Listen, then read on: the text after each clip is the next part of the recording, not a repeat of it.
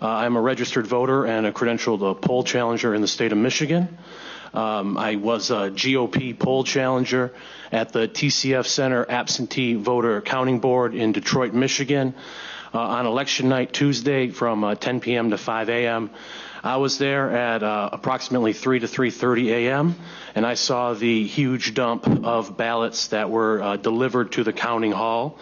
I noticed that the uh, city of Detroit clerk's office uh, had there was their emblem on the white van that showed up with the ballots. Uh, Janice Winfrey's name was on there and a number, presumably, uh, for Janice Winfrey's office. Uh, I estimated that it was over uh, 50 boxes that I counted, and I estimate that up to 1,000 could have been fit in each box, uh, large boxes. Uh, there was no chain of custody. There was no accountability. There was no transparency. Nobody knew where these ballots had been.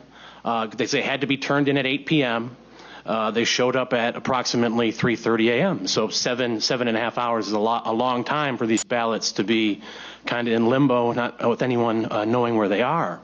Uh, there have been no answers up to this point, and whistleblowers are being intimidated. Uh, there is a campaign of terror that is being instituted by people such as Attorney General Dana Nessel to coerce public officials into certifying the vote and rubber stamping this insanity as quickly as possible. Keep in mind that you could not videotape at TCF. It was strictly prohibited, potentially a criminal act. That's why all of these sworn affidavits, there's hundreds and hundreds of them, are so important because they are the key proof that severe impropriety took place in Detroit on election night.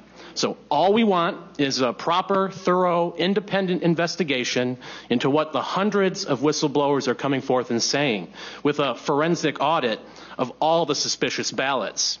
We know uh, what these investigations would yield, and we suspect that the interests desperately trying to obstruct the investigations, I think we know what, what I think they know what would be found as well. So I, I implore you to do the right thing, and you know, for your country, for your family, for your conscience, and stop this fraud.